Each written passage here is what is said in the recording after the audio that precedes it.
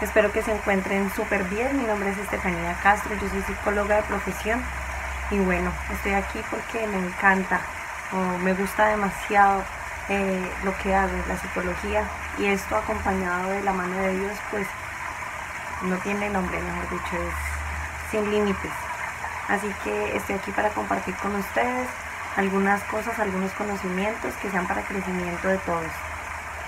Bueno, el día de hoy yo les quiero conversar sobre algo que me he venido cuestionando desde hace algunos días y es eh, cómo, cómo, nosotros como cristianos, y bueno, los que no son cristianos también, cómo tenemos esa capacidad tan rápida para hablar del otro, incluyéndonos, porque eso somos todos.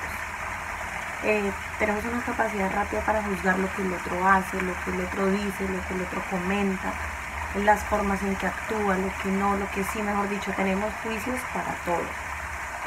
Y el Señor, principalmente, el Señor me inquietaba en esto mm, dentro del matrimonio, dentro del matrimonio porque tenemos una altísima capacidad para ver lo que es mi pareja, lo que es, lo que es, lo que es, lo que es.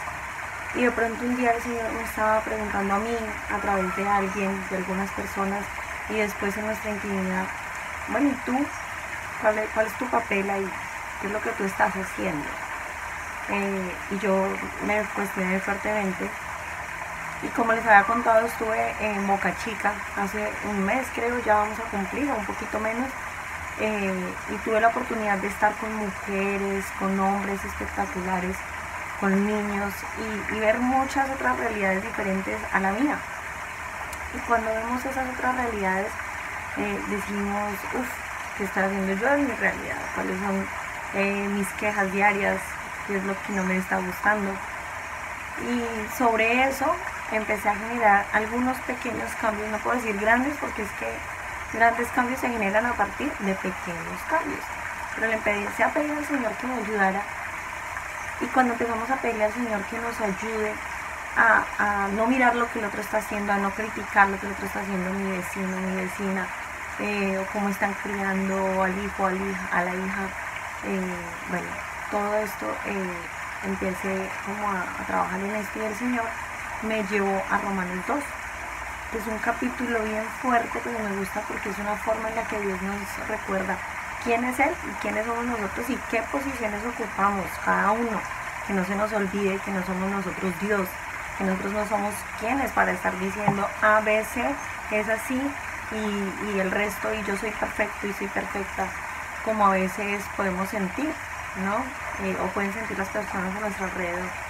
Así que les voy a compartir un poco esta palabra que dice en Romanos 2, Romanos 2. Dice, Dios es justo. Cuando alguno de ustedes acusa a otro de hacer algo malo, se acusa a sí mismo, porque también hace lo mismo. Así que no tiene ninguna razón de acusar o juzgar a otro. Aunque todos sabemos que cuando Dios juzga a quienes hacen lo malo, los juzga correctamente. El único que sabe realmente y que sabe medir la justicia es el Señor, porque es el único que es justo. Si ustedes acusan y juzgan a los demás, pero hacen lo mismo que ellos, están muy equivocados. Si creen que Dios no los va a castigar. Dios es muy bueno y tiene mucha paciencia y soporta todo lo malo que ustedes hacen. Pero no vayan a pensar que lo que hacen no tiene importancia. Dios los trata con bondad para que se arrepientan de su maldad. Pero si insisten en desobedecerlo y no se arrepienten, harán que Dios les aumente el castigo. Llegará el día de juicio final, cuando Dios juzgará a todos y muy enojado los castigará a ustedes, porque Dios les dará a cada uno lo que se merece. Cuando nos dice a cada uno lo que se merece es que cada uno seremos juzgados por la vida que vivimos independientemente de lo que el vecino hizo o no. Y que si nosotros nos pusimos a mirar lo que el vecino estaba haciendo y a decir nosotros bajo nuestra propia óptica, no, es que a mí me parece que eso está mal, no es que aquí me parece que ese tipo está mal. Eh, cuando juzgamos en la calle así a la ligera, cuando decimos eh, al político, al entrenador, no, es que usted no está haciendo las cosas como debiera. Pensemos antes de hablar, Pensemos en qué zapatos está esa persona, qué está haciendo esa persona para actuar de esa manera, X o Y. No se nos olvide que tenemos unos zapatos nosotros y otros zapatos las otras personas. Cada uno venimos de orígenes diferentes, de historias diferentes. ¿Y quiénes somos para juzgar la historia de nadie? ¿Quiénes somos para juzgar el presente de nadie? Ocupémonos de nuestras propias vidas y de ganarnos nosotros nuestro regalo eterno con el Señor. No estemos ocupados de lo que los demás hacen. Si nos ocupamos de lo propio, incluyendo nuestra intimidad, nuestro hogar, que tanto nos cuesta, incluyéndome, porque a veces nos cuesta no ver el problema en el otro, a veces creemos que es que mi esposo es el que hace eso, no es que mi hermano es el que me está provocando, no es que mi mamá es la que... En vez de eso, miremos, ¿y yo qué estoy haciendo?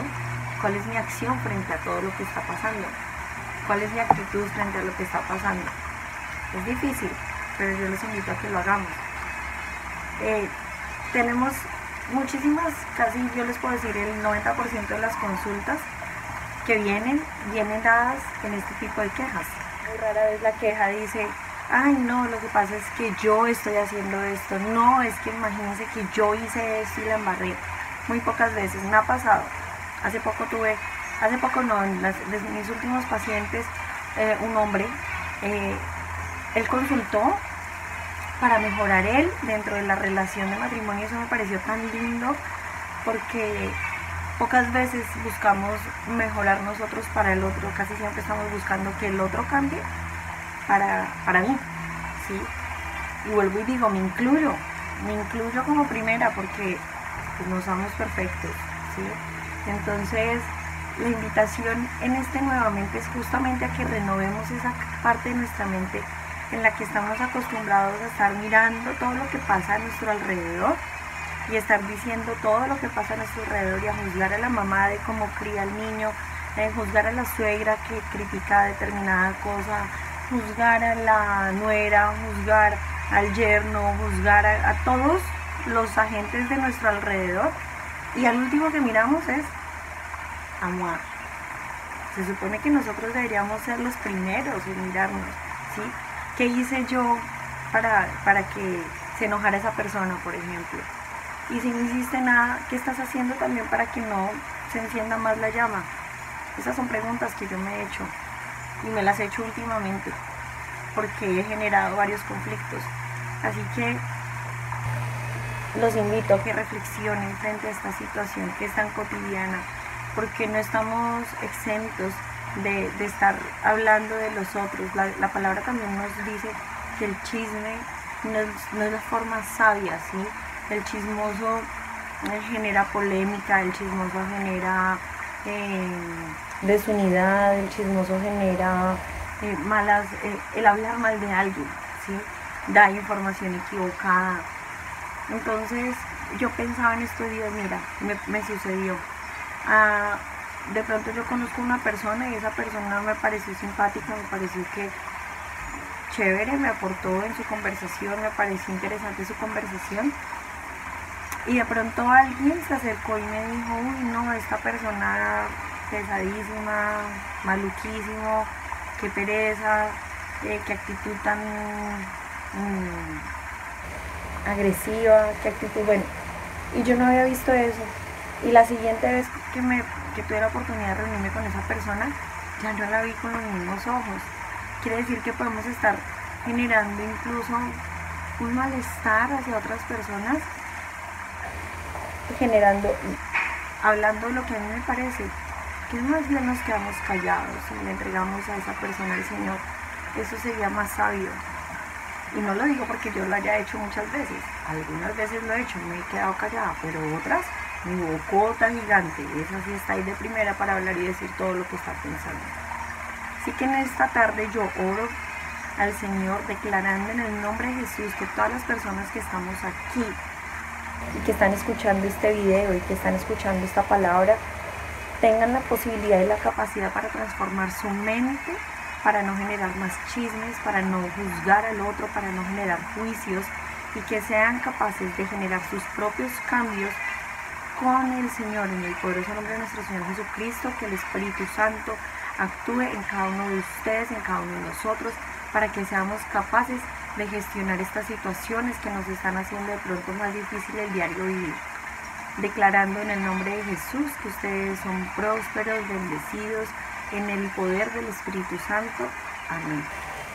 Los, nos vemos en la próxima de nuevamente y que tengan una feliz tarde. Bendiciones.